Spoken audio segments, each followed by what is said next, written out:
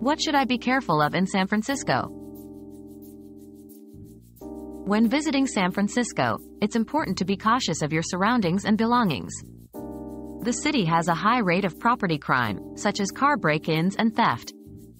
Be aware of your surroundings, especially in tourist areas like Fisherman's Wharf and Union Square. Additionally, be cautious when using public transportation, as there have been reports of theft and harassment. Lastly, be prepared for the city's hilly terrain and wear comfortable shoes.